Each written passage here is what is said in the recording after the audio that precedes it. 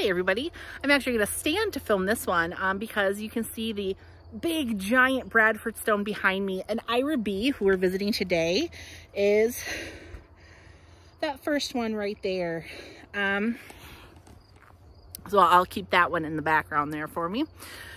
so, Ira B. Bradford. Um, where do I even start with that man? Uh, he popped up initially in my searches when I would be looking up genealogy for other people uh, because he was everywhere. he was Augusta's first mayor um, and he served that office intermittently, um, uh, I think until he passed away. Um, he, oh, sorry. He also uh, opened our first bank, which is now Unity, uh, over the years. Uh, he originally started out, he was born in New York and he worked in his uncle's law office. He eventually passed the bar in New York and then he came first to Wisconsin where I believe he was in Milwaukee and Madison um, and like southern Wisconsin area for some time.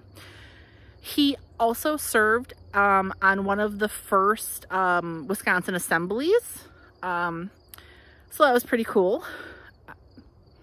And then somehow he ended up here in Augusta where he did all that of that stuff. Uh, I consider him one of our early settlers, uh, even though he definitely wasn't one of the first settlers. Augusta was a town by the time he got here, uh, but he really helped build it up.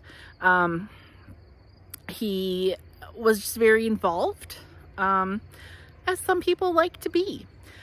He was later joined by his uh, two brothers, his father and his mother, uh, and a couple of other family members, I believe, came over time as well. So uh, yeah, they all, he liked it here so much, he encouraged his family to pick up and come too. So kind of a, a nice story. Uh, I can't, there's just so many things I can say about Ira B. Bradford. Uh, if you are ever going through the old newspaper archives, um, his, I'm not lying when I say his name is everywhere.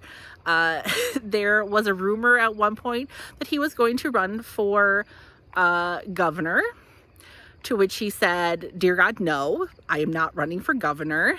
And I think I saw at least once that someone wanted him to run for president. And he, again, he said, dear God, no. this is like a statement was published in the paper that said, I am not doing this. Please stop telling people I am.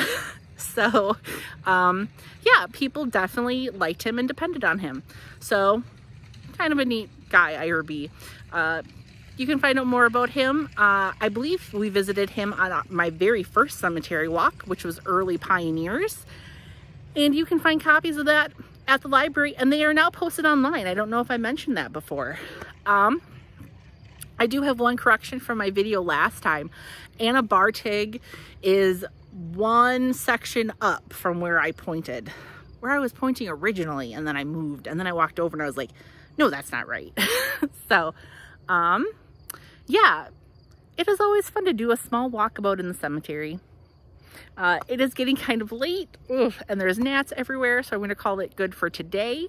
Uh, so I will be wearing a different shirt for step number or for stop number four. Uh, and I think we're going to visit some people on the far side of the cemetery. Finding Ira B is really easy.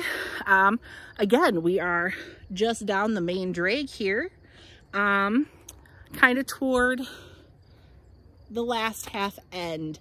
Um, while you're over here, I heartily encourage you to check out some of the really amazing um, cleaning that I have done out here.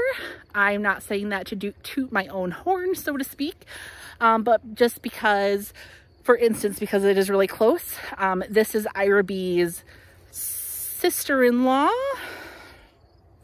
um, Cynthia Bradford. Look at how beautiful this stone is. Um, oops, sorry. That was pretty much black, very light ash gray when I cleaned it. Um, and it is just, it is beautiful. Um, so yeah, walk around, take a peek, see if you can tell which ones I've cleaned or not. And I will see you guys next time. Bye.